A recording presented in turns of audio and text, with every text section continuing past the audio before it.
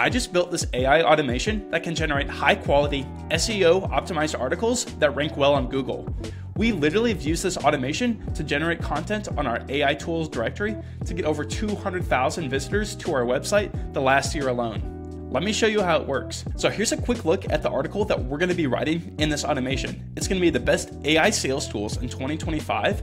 And if we scroll down here, we're gonna go into detail about the top eight AI sales tools found across the internet. Jumping back into our automation, before we can actually write anything, we're gonna go ahead and leverage OpenAI's deep research tool to get this information necessary.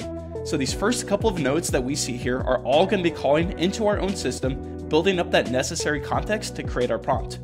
After that prompt's made, we're gonna share the prompt to run in Slack. Then we're gonna run this prompt in the OpenAI Deep Research tool to get this full detailed report back of the top AI powered sales tools. Once that's done and we paste that resulting report back into our Slack node, we're able to continue with the rest of the automation. Next up, we're gonna get into writing the content for this article. First, we're gonna write the intro. Second, we're gonna write the supplementary paragraph.